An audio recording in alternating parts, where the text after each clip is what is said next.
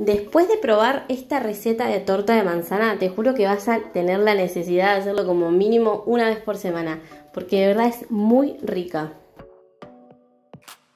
Y aparte es súper simple. Vamos a empezar poniendo huevos, azúcar, aceite, leche y esencia de vainilla en un bowl. En lugar de esencia de vainilla, si querés, puedes usar ralladura de naranja o ralladura de limón. Lo vamos a batir bien y le vamos a agregar harina y polvo para hornear o puede ser harina leudante. Lo mezclamos bien y una vez que esté todo bien integrado, le vamos a agregar dos manzanas cortadas en cubitos. Mirá el efecto que te tiré ahí. Ahora lo vamos a mezclar todo. Si querés le puedes agregar menos manzana o más manzana. Esto es a gusto. También puede ser pera, que le queda bastante bien.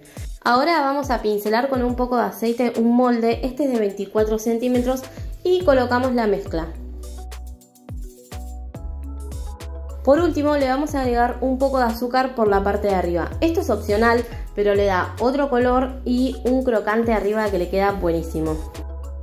Y listo, lo llevamos al horno durante 45 minutos y ya está listo. Es una hermosura, es súper rico, así que tenés que hacerlo sí o sí.